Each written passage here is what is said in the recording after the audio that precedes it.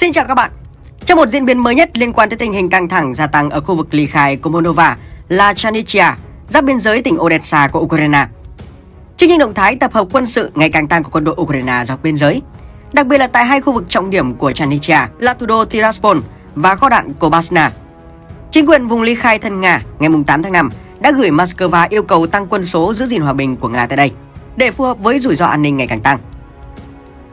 Về cơ bản, vị trí của Transnistria ở Moldova tương tự như vai trò của Donbass ở Ukraine và Nam Ossetia ở Georgia.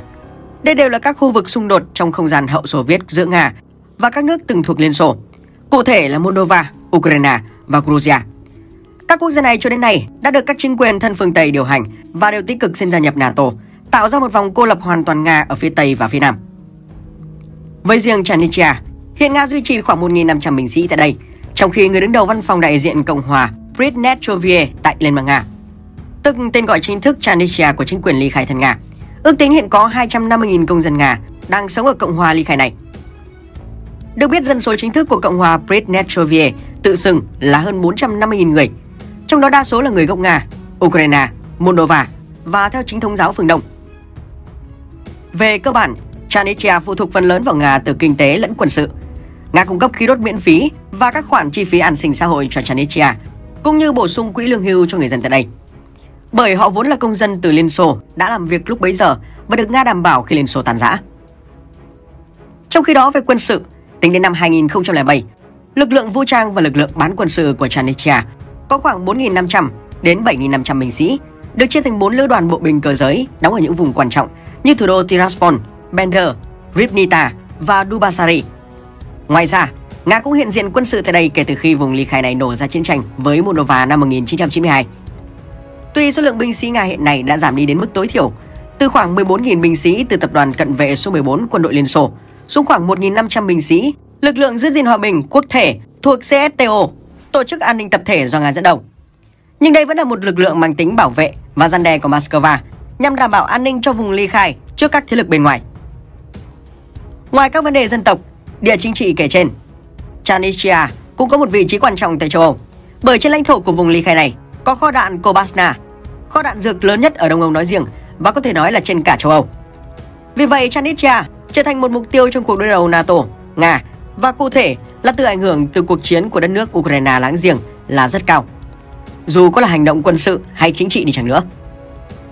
Được biết, kho đạn Kobasna nằm ở làng Kobasna, một vùng nông thôn phía bắc Chanichia. Nó được hình thành từ những năm 1940 khi Chanichia còn thuộc Liên Xô. Vào thời điểm Liên Xô còn tồn tại, nó có giá trị chiến lược quan trọng với quân đội Liên Xô ở phía Tây. Kể từ đó đến nay, kho đạn Kobasna liên tục được nâng cấp và được coi là một trong những kho đạn lớn nhất, nếu không muốn nói là lớn nhất ở Đông Âu nói riêng và toàn châu nói chung.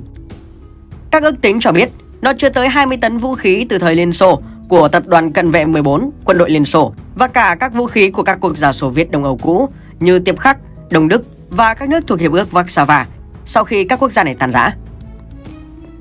Vì tính chất khủng của nó, hiện tại các binh sĩ của lực lượng giữ gìn hòa bình Nga được cho là đang là đơn vị chủ chốt bảo vệ kho đạn này. Về cơ bản, các nhà quan sát tiếp tế cũng không thể tiếp cận kho đạn này. Ngay cả quyền tiếp cận của chính quyền Chanichia tới kho đạn cũng bị hạn chế và chỉ có quân đội Nga và giới chức cấp cao của Chanichia mới có thông tin chi tiết về số lượng và tình hình vũ khí được lưu trữ tại đây. Vì vậy, kho đạn này vẫn là một bí ẩn với thế giới và kể từ khi Nga xung đột với Ukraine, giới quan sát càng ngày càng lo lắng về kho đạn dược của Basna với không ít người tin rằng vũ khí ở đó có thể được sử dụng trong một cuộc xung đột quân sự tiềm ẩn. Ngoài ra, phương Tây nhiều lần đưa ra báo cáo phán đoán rằng hơn một nửa số vũ khí trong hơn 20.000 tấn vũ khí tại đây đã hết hạn.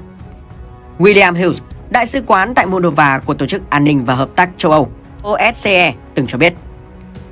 Sự hiện diện của một lượng lớn đạn dược cũ như vậy ở một nơi là mối nguy hiểm. Trong khi đó, Viện Hàn lâm Khoa học Moldova từ năm 2005 xác định rằng một vụ nổ vũ khí nằm trong kho đạn dược hết hạn sẽ tương đương với các vụ đánh bom nguyên tử xuống Hiroshima và Nagasaki. Mối lo ngại về một dữ kiện như vậy tăng lên sau vụ nổ Beirut diễn ra vào năm 2020, nơi một lượng lớn ammoni nitrat được lưu trữ ở cảng Beirut của thủ đô Liban đã phát nổ. Người ta ước tính lô hàng 2.750 tấn ammoni nitrat khi phát nổ tương đương với khoảng 1,1 kiloton. Thế nhưng, nó sẽ chưa là gì so với kho đạn Kobasna. Theo báo cáo của Viện Hàn lâm khoa học Moldova năm 2005, Một vụ nổ kho quân sự có thể xảy ra ở Kobasna có thể lên tới 10 kiloton, tương đương vụ nổ của quả bom hạt nhân Mỹ thả xuống thành phố Hiroshima năm 1945.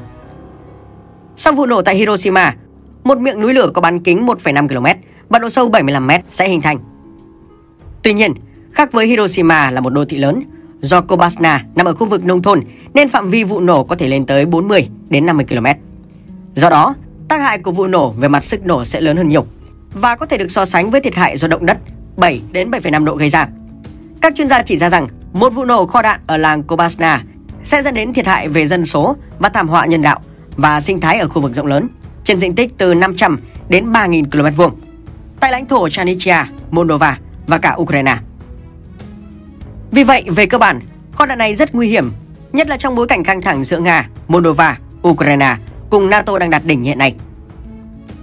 Về mặt chính trị, vào tháng 3 năm 2022, ngay sau khi cuộc chiến Nga-Ukraine bùng nổ, Hội đồng Nghị viện châu Âu đã tuyên bố Chanichia là lãnh thổ Moldova do Nga chiếm đóng, đồng nghĩa với việc tuyên bố Nga đang đóng giữ trái phép kho đạn Kobasna. Trong khi đó, trên thực địa, vào ngày 27 tháng 4 năm 2022, Bộ Nội vụ Chanichia báo cáo rằng máy bay không người lái đã bay qua Kobasna và các phát súng đã được bắn vào ngôi làng. Cơ quan này tuyên bố rằng máy bay không người lái đến từ Ukraine. Một số cuộc tấn công tương tự cũng xảy ra ở Chanitia vào thời điểm đó, nhưng đã lắng đi vào mùa đông. Tuy nhiên vào thời điểm đó, tờ Investia đã có bài viết ngày 17 tháng 11 nói rằng Moldova có thể chuyển giao kho chứa đạn vùng Chanitia cho Ukraine. Investia dẫn lời của Tổng thống Moldova Maya Sandu cho biết bà sẵn sàng chuyển giao một phần lãnh thổ của đất nước này cho Ukraine trong vài năm. Cụ thể, đó là những khu vực thuộc vùng ly khai Chanichia, nơi Nga đã đặt các kho đạn dược và đóng quân giữ gìn hòa bình của Nga từ khi Liên Xô sụp đổ. Sau chiến tranh Chanichia, Moldova. Đáp lại những hành động kể trên, hồi đầu năm nay, Tổng thống Putin đã ký sắc lệnh thu hồi việc Nga công nhận chủ quyền của Moldova, đưa tình hình Moldova nói chung và Chanichia nói riêng lên một mức độ căng thẳng mới mà Moscow bỏ ngỏ khả năng can thiệp quân sự để bảo vệ vùng ly khai này. Với riêng kho đạn Kobasna, 20.000 tấn đạn dược còn được lưu trữ tại đây, về cơ bản không thể dễ dàng rời khỏi Chanichia. Lãnh thổ này không có đường băng hoạt động và đã dựa vào một thỏa thuận không chính thức với Moldova cho tuyến đường hàng không. Trong quá khứ, dưới sự thỏa thuận của các bên trong việc nỗ lực giải trừ kho đạn, tuyến đường sắt của Chanichia với Ukraine đã được sử dụng để chuyển một phần đáng kể kho dự trữ Kobasna sang Nga. Nhưng nỗ lực này đã bị đình trệ từ lâu và biên giới Chanichia với Ukraine đã bị đóng cửa. Và Nga chỉ có thể tiếp cận kho vũ khí này nếu lực lượng của họ ở Ukraine liên kết với các lực lượng ở Chanichia. Về cơ bản, đây là nỗi sợ với Ukraine nếu Nga cố tiếp cận Chanichia. Khi đó, Odessa chắc chắn mất. Sự hiện diện quân sự của Nga ở Chanichia từ lâu đã khiến Kiev lo lắng. Sau khi Nga sắp nhập Crimea vào năm 2014, Ukraine đã đào một con hào dọc biên giới với lãnh thổ Chanichia. Tất cả các cửa khẩu biên giới của Ukraine với lãnh thổ này đã bị phong tỏa kể từ năm ngoái. Và cho đến nay, sau một năm, tình hình tại khu vực này đang có những dấu hiệu rất nóng.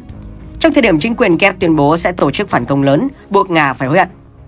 Và chưa biết điều gì có thể xảy ra trong thời gian sắp tới, khi mà mới đây, Ukraine thậm chí còn dùng cả UAV tấn công trực tiếp vào điện Kremlin theo cáo buộc của Nga, nhằm ám sát Tổng thống Putin. Một động thái vô cùng nguy hiểm mà ngay cả giới chức Mỹ cũng rất dè dặt khi đề cập tới.